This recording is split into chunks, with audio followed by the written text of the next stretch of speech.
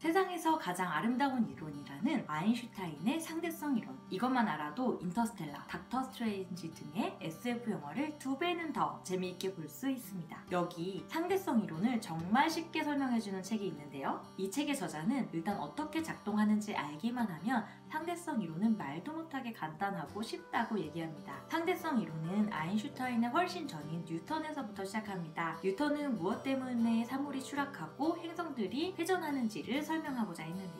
그는 사과가 나무에서 떨어지는데 깨달음을 얻어 모든 물체는 서로를 당기는 힘이 있다. 이 힘을 중력이라고 불렀습니다. 그런데 멀리 떨어져 있는 두 물체 사이에 아무것도 없을 때는 어떻게 서로를 끌어당길까요? 뉴턴은 다음과 같이 가설을 세웁니다. 물체들이 움직이는 공간이 거대한 텅 빈 하나의 통이다. 우주를 담은 하나의 거대한 상자를 상상했습니다. 이 공간은 마치 물체들이 직선으로 움직이게끔 해주는 선반 같다고 생각했습니다. 하지만 이 공간 이 무엇으로 이루어져 있는지는 알지 못했습니다. 나중에 태어난 아인슈타인은 뉴턴의 생각에서 한 단계 진일보한 생각을 합니다. 아인슈타인이 태어나기 몇 해 전에 전자기장이라는 게 발견되는데요. 마찬가지로 중력도 전자기장처럼 일정한 범위를 가지는 장이구나라는 것을 눈치챈 거죠. 아, 뉴턴이 말하는 공간 안에 중력이 따로 작용하는 게 아니라 중력장 자체가 어떤 공간이구나. 지금 우리가 듣기에는 그냥 그 말이 그 말 같은데 그 당시에는 굉장히 센세이션한 발상이었습니다. 공간도 물질과 다를 바가 없다. 비어있는 곳이 아니다.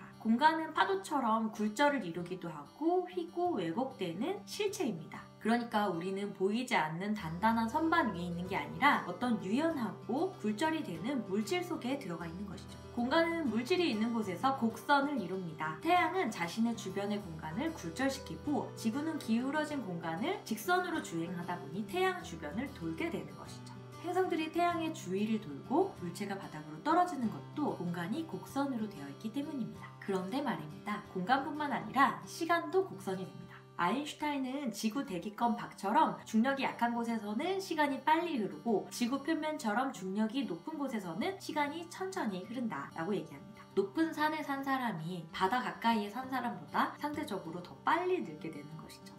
아인슈타인은 이 외에도 블랙홀, 우주의 폭발과 팽창 같은 수많은 개념들을 예측했고 이것들은 모두 나중에 증명되었습니다. 이 모든 것들은 기본적인 직관, 즉 공간과 장이 같은 개념이다 라는 데서 비롯된 것이죠. 그리고 이 하나의 방정식으로 다 설명이 가능한데요. 우리가 이 방정식을 이해하는 데는 시간이 걸리겠지만 아인슈타인의 새로운 시각만 이해할 수 있다면 여러분도 상대성 이론을 이해하고 있는 셈입니다.